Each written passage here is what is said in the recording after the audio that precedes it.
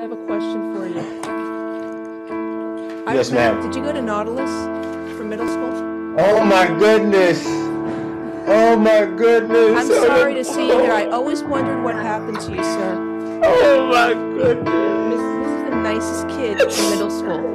Oh my goodness. He was the best kid in middle school. I used to play football with him and all the kids. And look what has happened. I'm so sorry. Oh my goodness.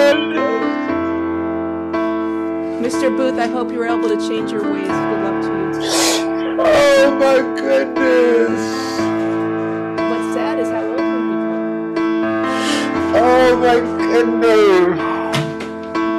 Good luck to you, sir. I hope you're able to come out of this okay